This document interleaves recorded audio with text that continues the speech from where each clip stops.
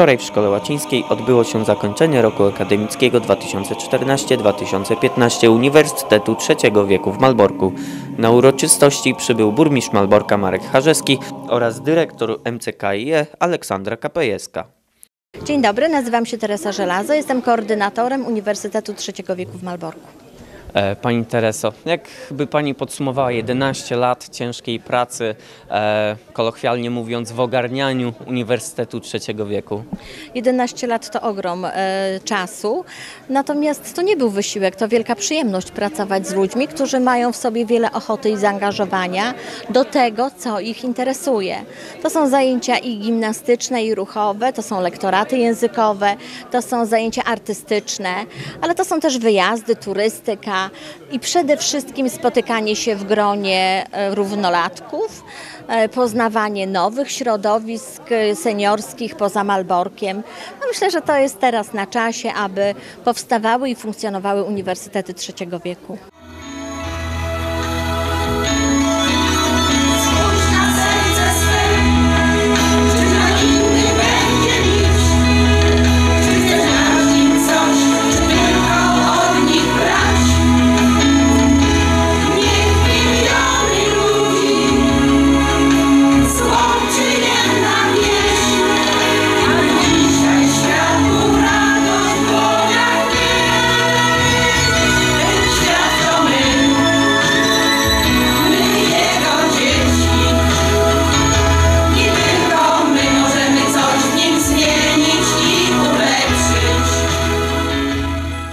Witam serdecznie, panie burmistrzu, 11 lat Uniwersytetu III wieku.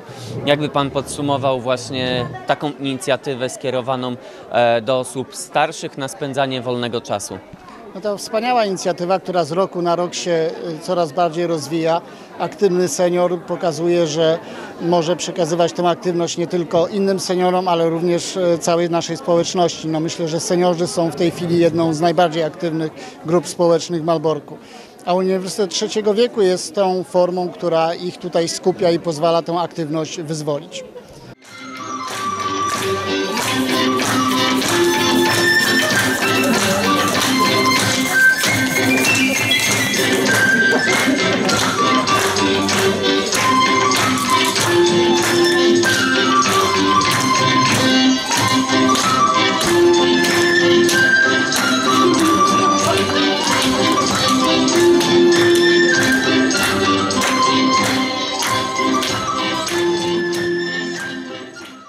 Wróćmy do początku, 11 lat temu. Skąd wziął się pomysł, e, żeby zorganizować właśnie zajęcia e, dla nieco starszych słuchaczy i e, żeby w Malborku powstał Uniwersytet III wieku?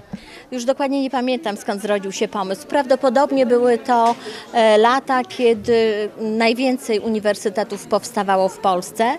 Co prawda te pierwsze to już rok 1975 i pani Halina Schwarz, e, bo ona z taką ideą wróciła z Francji.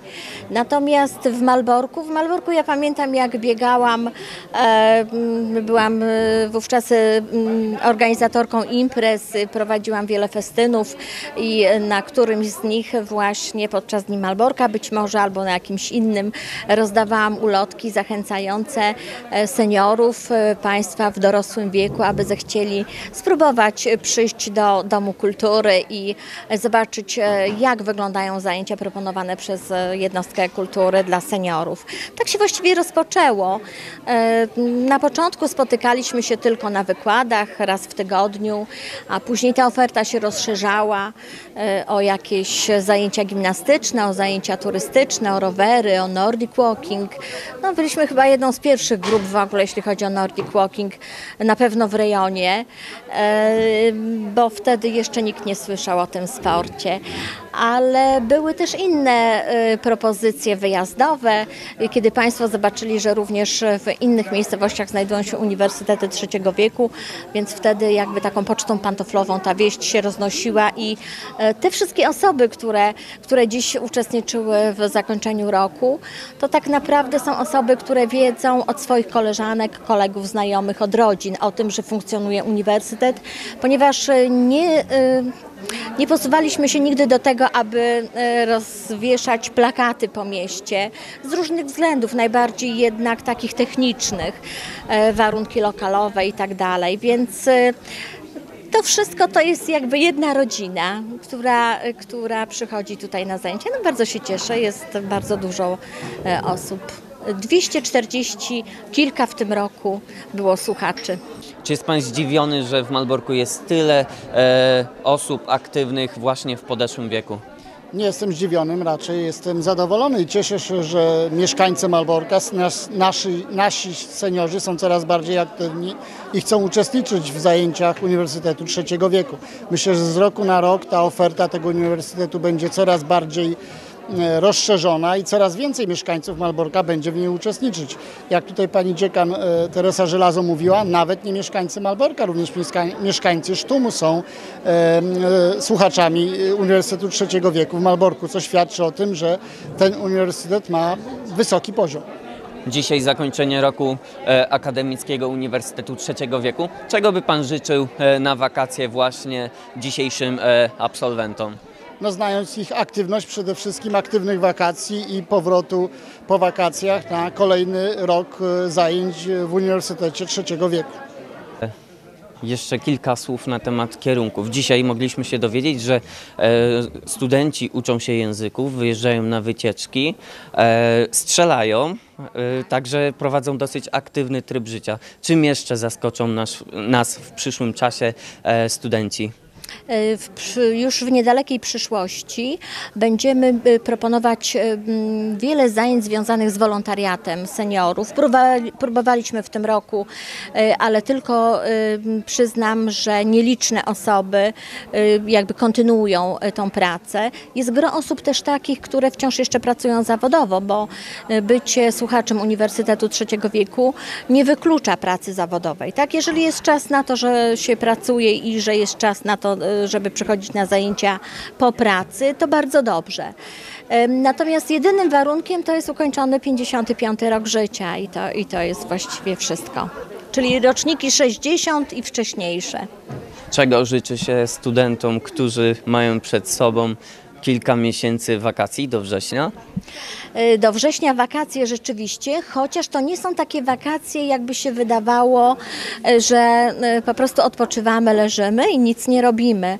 Oprócz tego, że Państwo bardzo czynnie uczestniczą w uprawianiu swoich ogródków działkowych, to jeszcze proponujemy zajęcia wyjazdowe na rowerach, to jeszcze są e, różne wyjazdy Nordic Walking, to są wyjazdy również takie studyjne na spotkania z innymi uniwersytetami. Już w tą sobotę wyjeżdżamy do Wejherowa, później e, czeka nas również e, wyjazd na Grudziąckie Solanki.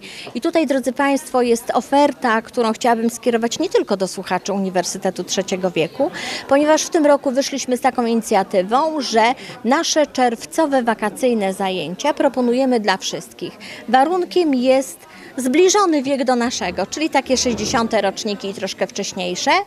E, Zapraszamy Państwa do odwiedzenia naszej strony internetowej www.u3w kultura.malbork.pl to jest nasz adres e, internetowy, ewentualnie poprzez stronę Malborskiego Centrum Kultury i Edukacji, którego Uniwersytet Trzeciego Wieku jest sekcją. TV Regionalna 24.pl TV Malbork TV Sztum. TV Nowy Dwór. To my tu kręcimy